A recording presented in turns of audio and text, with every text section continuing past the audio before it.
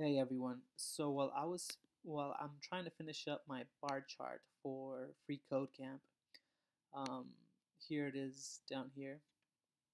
I was I'm in the middle of creating the tooltip, and as you can see, I have it kind of working. If I hover over the bars right now, it gives me a little bubble with my name inside of it. Um, I think the thing that is being asked by Free Code Camp is to display the GDP that each bar should be representing.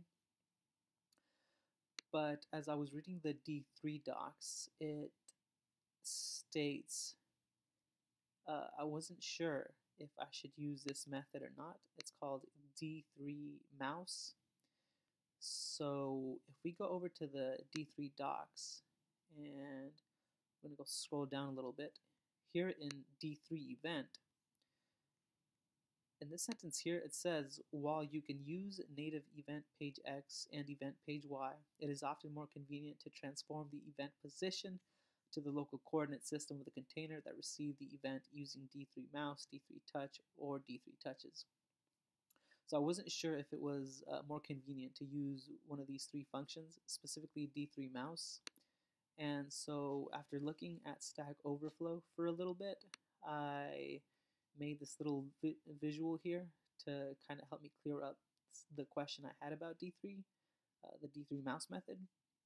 So if we run through our code, we create a variable called SVG, and we select the body, append an SVG, give it a width of 960 and a height of 500.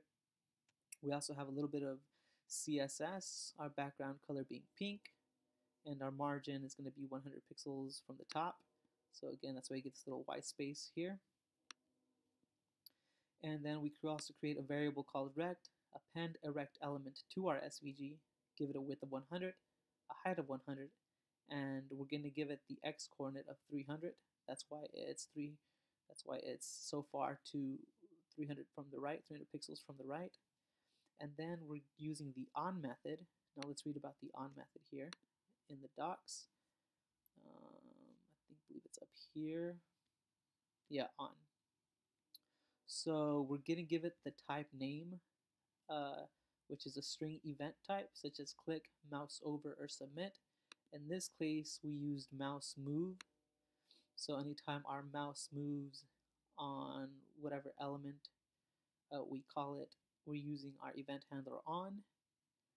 Uh, it'll it should display something. Then we're calling a, a listener called mouse move, and mouse move is going to be a function that's down here.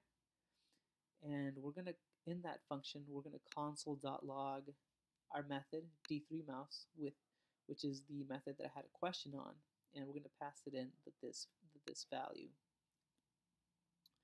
Okay, or the this keyword, I mean. Okay, so remember we have this SVG that's 100 pixels down. So our if it wasn't for this D3 mouse method, our y coordinate at the very top of this rect element should be 100 pixels. But because we're using D3 mouse, it's actually going to give us the coordinate based on the uh, container that it's in. So because this little black rectangle is at the very top of our parent element, this SVG container, it's actually going to display a y coordinate of 0 because it's at the very top. And this can be displayed if we if we look take a look at the console. As you can see, we have all these arrays that are showing because we've already hovered over our rect element a few times. We're going to clear it. And again, we're going to try and see if we can click on the very top of our element. Right here. So like our x coordinate is 365 and our y value is 2. So that's pretty close to 0. So as you can see, it's actually reading the y coordinate uh, relative to the parent container that it's in. So that is why D3 mouse would be more convenient to use than the native uh, page X or page Y, which will just read um, based on where you're at on the on your web page. Using this method, D3 mouse, it'll read the it'll give you the coordinates based on the container that it's in, which can be very, very useful. So I just wanted to share that with you guys if in case you get confused on why you would you would use one of these three methods that that states that it states down here.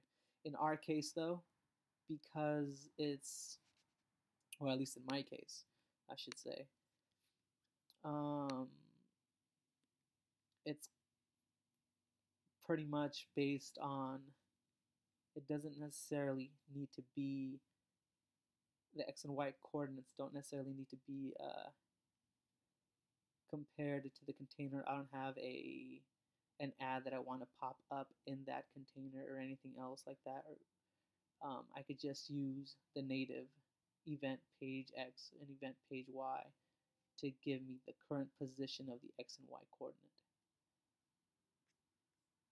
So that is about it. Thank you for watching.